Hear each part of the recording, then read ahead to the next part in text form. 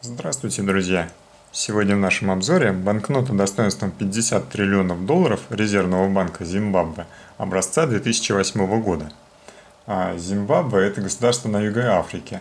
На севере граничит с Замбией и Мозамбиком, на востоке – с Мозамбиком, на юге – с Южной Африкой, на юге и западе – с Ботсваной. На языке Шона Зимбабве означает «жилище правителя», столица – Хараре – данная банкнота была введена в оборот 1 августа 2008 года, а дата изъятия из оборота уже 31 декабря 2008 года. Размер 74 на 149 мм. Мы видим на аверсе в центре изображена 12-метровая балансирующая скала Чиремба в Эдворте близ Хараре.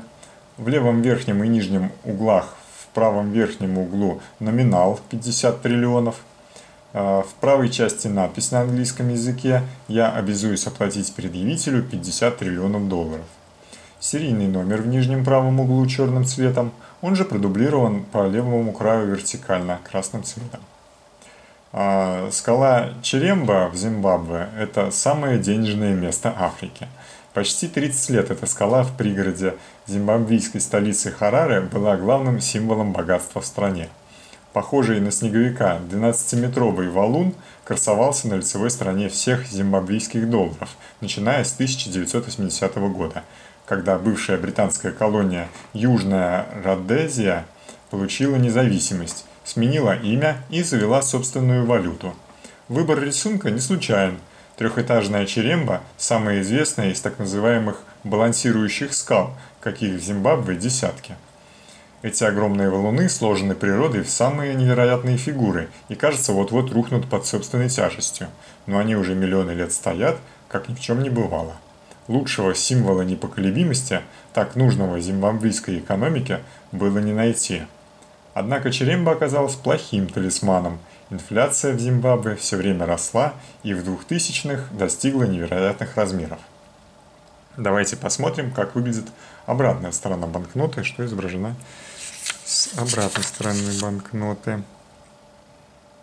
Вот так вот выглядит реверс банкноты. И мы видим на реверсе, на изображении слева гидроэлектростанция.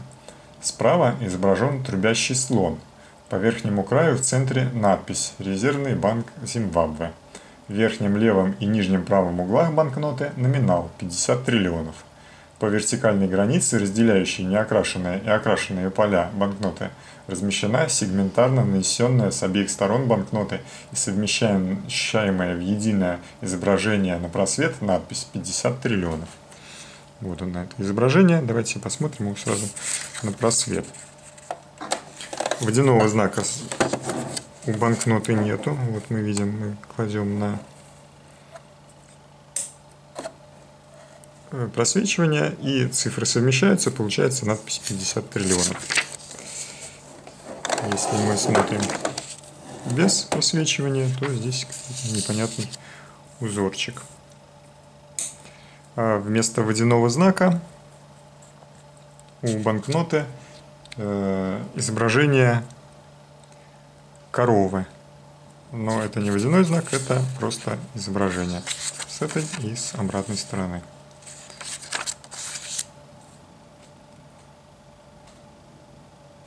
Гиперинфляция в Зимбабве началась с того, что президент Роберт Мугабе официально разрешил коренному населению захватывать имения белых поселенцев, а на всех предприятиях, даже иностранных, руководителями должны были назначить чернокожих. И покатилась инфляция. В августе 2006 года провели первую деноминацию.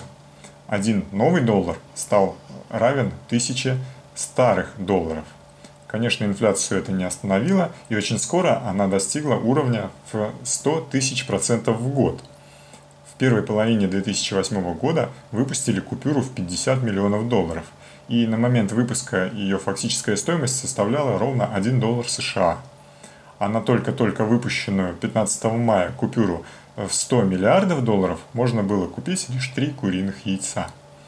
Инфляция продолжала расти, и э, уже через и в конце июля 2008 года 1 доллар США стоил 760 миллиардов зимбабвийских долларов.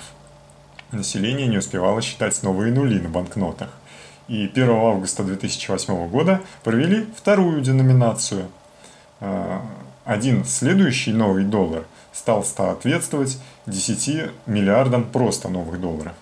Официально 1 доллар США стоил 8 зимбабвийских долларов, но уже спустя всего 3 месяца за американскую бумажку просили 670 миллиардов местных долларов. А, банк продолжал штамповать все новые банкноты. А, если в августе начинали с купюры а, в 1 доллар, то к началу декабря в стране уже ходили бумажки в 200 миллионов, а к концу месяца в 10 миллиардов. Кульминация наступила к 16 января 2009 года. В обращение поступила банкнота в 100 триллионов долларов. К началу февраля 2009 года, когда 1 доллар США стоил 300 триллионов а, очень новых долларов Зимбабве 2 февраля 2009 года произошла третья деноминация. Триллион э, самых новых долларов приравняли к одному очень самому новому доллару. То есть получилось, что один очень э, новый доллар равен 10 септиллионам э, или 10 умноженное на 10 в 24 степени э, старых первых долларов образца первой половины 2006 года. Самые свежие бумажки имели достоинство от 1 до 500 долларов. Если взять все купюры с начала инфляции с 2003 года, то получится, что за 5,5 лет в стране ввели в обращение и изъяли 71 банкноту разных серий и номиналов. Но и новые купюры не, прижи, не прижились. 12 апреля 2009 года стало известно о запрете оборота доллара Зимбабве. Формально он оставался законным платежным средством еще до 30 июня 2009 года, но население стало использовать доллары США, британские фунты и валюты соседних держав, которые более тверды, нежели зимбабвийский доллар. Зимбабвийский доллар закончился.